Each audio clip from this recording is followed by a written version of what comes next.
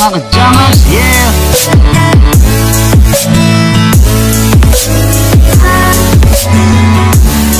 Pindot na! So, good morning mga ka-junkers, no? So, dito kami ngayon, Sunday ngayon, mga ka-junkers, no? So, may hinakot kami ni Barag na ah, mga computer tsaka cartoon doon sa ano natin, ang pinagpahakot kasi. So, ito yung mga ka-junkers, no? So, yan, yung mga hinakot natin ngayong linggo. So, isa na-cancel, inayos na lang ni Barag yung cartoon. So, yan. So, may kasama yan mga ka-junkers na computer parts, no? So, ito yung mga battery. So, battery daw to. Ang laptop siguro. Ayan. So, bibenta natin yan sa, pag naaayos ko ngayong linggo tong mga nabili kong battery, saka tong mga ano, papakita ko lang sa inyo, bibenta natin ngayong linggo yan. Pero alanganin eh. So, ito mga keyboard, mga jawas, kinuha ko lang to sa presyong malutong, so sa dalawang piso. So, malutong ang binayaran ko dito, ito mga malutong yan mga jawas. Ang kukunin ko dito mga jawas yung laman loob. No, papakita ko sa inyo mamaya kasi yung laman loob nito, ah, silver mga kajankers. So ito naman yung iba pa. So pipilihan ko na lang mga kajankers dito kung iba. Ayan, may mga CD-ROM siya. So ayan, pwedeng tastasin. So ito yung mga power supply, no? Mga kajankers. Papakita ko sa inyo, tastas. Itong power supply mga kajankers, kinuha ko lang to sa presyong kapalodo. May kumukuha daw sa kanila nito ah, per piraso. Sabi ko, scrap lang kasi sa amin eh. So ngayon, pinakilo ko lang, pinaka, binili ko lang sa tapalodo yan. So ngayon, babaklasin ko to mga kadyangers, tatanggalin ko tong pinaka tapalodo niya. Para ma, kasi pag ganito lang bibenta mo doon sa rektahan, mas mura siya. So alisin natin yung ah, bahay niya para mabenta natin mas mataas, no? Mataas ng konti. So kailangan may wire pa rin siya, hindi tatanggalin yung wire. So ayun mga kadyangers, no? So update ko ulit kayo mamaya. Gagawin natin yan mga kadyangers. So, dito lang tayo mga ka-junkers, no? Alas 3 na ng hapon, mga ka-junkers. So, simulan natin yung ating uh, cellphone, mga ka-junkers, no? So, alas 3 na ng hapon. So, hindi na rin tayo makakapag-deliver ng uh, computer parts dito sa ating re-retan dahil hapon na. Hindi na tayo abot. Dahil asin ko lang yun, mga ka-junkers. Dahil medyo malayo-layo yun. So, itong mga nakikita nyo sa likod ko, mga ka-junkers, itong keyboard na to, ito, napili ko lang ito sa malutong. So, ang para mapataas ko pa yung benta ko dito mga kadyangers, tinanggal ko yung laman loob niya. So, ang laman loob niya ito mga kadyangers, no? So, ito yung laman loob niya. So, sa rektahan ng uh, computer, nabibili ko mga kadyangers, no? So, ito lang tatanggalin mo sa keyboard. So, tatanggalin mo lang itong pinakagitna. Ayan, tatanggalin mo lang itong uh, pinakagitna mga kadyangers, no? So, wala siyang laman. So, ito yung ating kukunin. Ayan, ito yung ating kukunin mga kadyangers, no? So, sabi kasi nila, meron tong ah, silver mga ka-jangers, no? So, yan, hindi na natin alam kung paano nila pinoproseso to para magawa yung silver na to, no? So, yun mga ka-jangers, no? At meron pa pala akong mga meron pa ako dito mga ka-jangers na isa pang hindi ko napakita kanina mga ka-jangers, no? Kasama nung nabili natin kanina doon sa ah, IT studio. so, ito mga ka-jangers, meron tayong ah, limang CPU. So ayan yung isang CPU, sa maliliit yung iba eh. Kasi ito, Dell. Uh, CPU yan mga jangers, no? So ito pa, mga sinauna ata ito mga jangers eh. Mm, Yan oh, may mga drive siya. So ayan mamaya, babaklasin ko yan mamaya mga jangers na papakita ko sa inyo para makita natin kung ano yung mga laman ng mga to na CPU na to. So tara, let's go. Ang tabi yung karit. Ito pa mga ka-jangers na. So ito na yung mga jangers yung hinubaran ko na power supply. No, kasi medyo mataas siya pag ganito. Sabi naman ni Mrs. per piraso daw 45 pesos. So, subukan naman natin ang hubad yung ating dadalhin, no? Hubad tawag ko diyan eh. Yung tinanggalin natin sa bahay niya. So, basta huwag lang tatanggalin tong wire niya, no? Power supply hubad to. Sa yan. Ayan na. Ayan, tapos ayun pa yung babaklasin natin. Pag nagbaklas yan, ah, maaari benta ko bukas yan mga kadyans, no? So, ayun pa yung mga ah, ano ng keyboard, no? Pinaka-pin niya. So tatanggalin ko pa yan mga may mga kadyangkas no. So hapon na. So yan yung natin. Tapos titingnan natin kung lalabas yung puno natin na 1 3 no 1,300 kasama na yung carton doon. So papalabasin natin sana lumabas dito pa lang sa computer na to mga kadyangkas no. So update ko na ulit kay mamaya. So tara let's go. Good morning mga ka-junkers. Magandang umaga sa inyo. Alas 5 na ng umaga mga ka-junkers. So, dideliver na natin yung mga computer points. Tapos isasabay na rin natin tong tanso na nabili ng misis ko kahapon. No? Sasabay na lang natin para hindi sayang yung biyahe natin na Kasi konti lang yung computer eh. Sabihin na lang natin itong konting tansutin. No? Pakita ko lang sa inyo.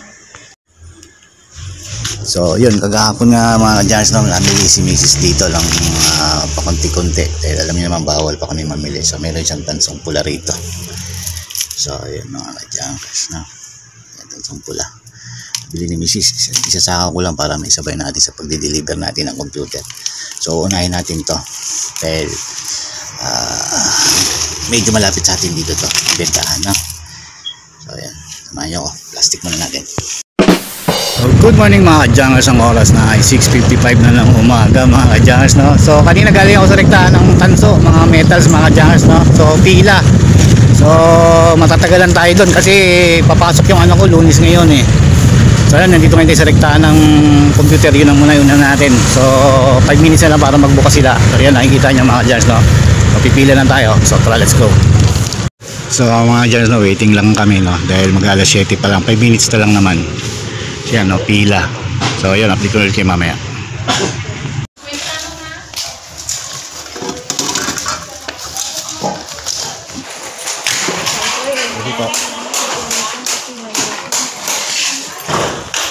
Ayan mga dyan, dito na tayo sa bintana ng metals.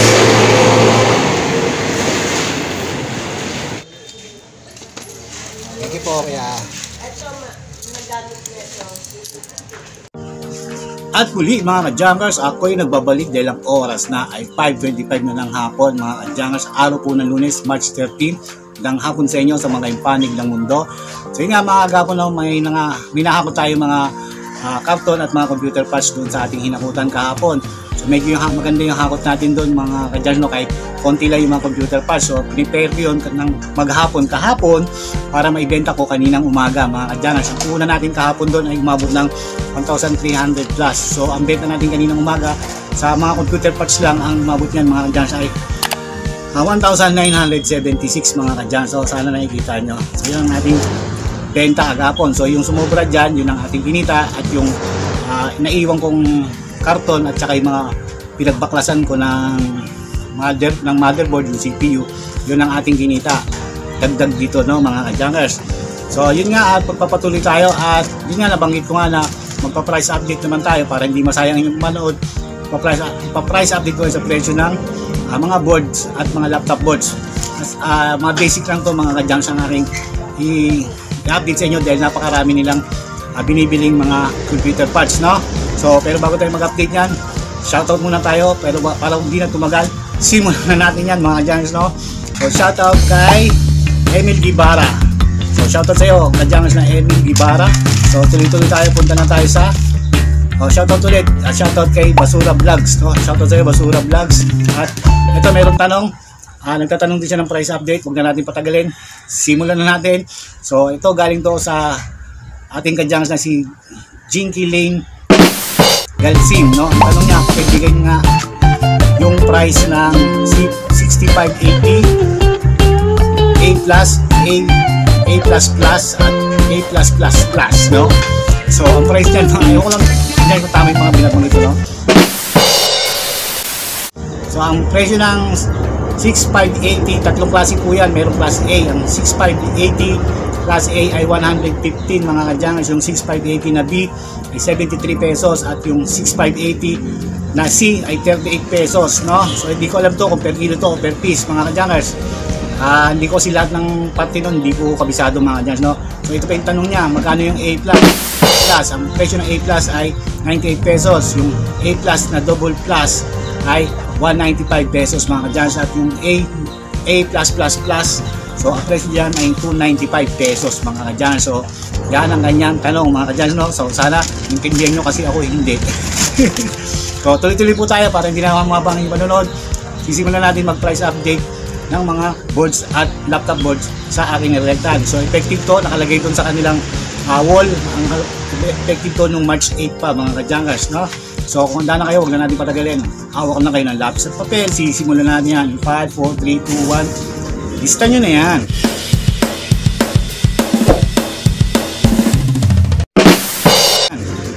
So ito mga kadyangers, magsisimula tayo sa motherboard. Ang presyo ng motherboard sa aking Rectane, 405 pesos niyan mga kadyangers per kilo. Punta na tayo sa motherboard double. Ang presyo ng motherboard, double sa ating rectal ay 445 pesos na yan mga kadyangers per kilo at ang motherboard clean. Ang presyo niyan ay 540 mga kadyangers at ang single chips ang presyo niyan sa ating rektahan ay 270 pesos per kilo mga kadyangers at ang modem 180 pesos per kilo. At punta na tayo sa IC board. Presyo ng IC board sa ating rektahan ay 315 na yan mga kadyangers per kilo. At ang IC clean ang presyo niyan sa ating rektahan ay 435 pesos na yan mga kadyangers at ang module presyo ng module sa ating rectale 270 pesos na per kilo at ang ordinary clean ang presyo niyan ay 300 pesos na yan mga advance per kilo so punta na tayo sa laptop so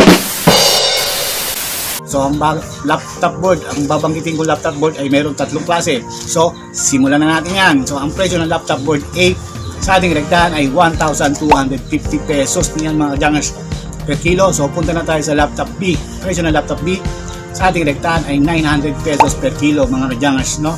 At punta na tayo sa laptop C. Presyo ng laptop C sa ating rektahan ay 405 mga jangers per kilo. At ang CDR board, ang presyo niyan ay 700 pesos per kilo at ang LCD board ay 690 pesos na yan mga kadyans per kilo. So yan po ang mga price update ng mga motherboard at IC board at laptop board sa aking nilarektan. Yung, yung mga nabanggit ko ay puro basic lang po yan. So yung mga nabanggit ko rin ay gawin nyo lang yung guide mga kadyangers sa inyong pamimili. So sa mga computer parts na baguhan lang, huwag kayong masyado mamili ng ah, matataas ng presyo dahil kung di nyo naman kabisado katulad ko hindi ko masyado kinakabisado yan. So yun mga kadyan no? So sana nagustuhan nyo ang ating video for today. Kung nagustuhan nyo naman like naman. Kung di pa kayo nakapag-subscribe dito sa aking channel click nyo yung subscribe button hit yung notification bell para ma-update ko kayo sa mga bagong i-upload ko pang mga video so muli ako ang inyong kadyangers na si Erwin kita kita po tayo sa susunod see you on my next vlog bye bye mga kadyangers Thanks for watching mga ka-jungles. Yeah!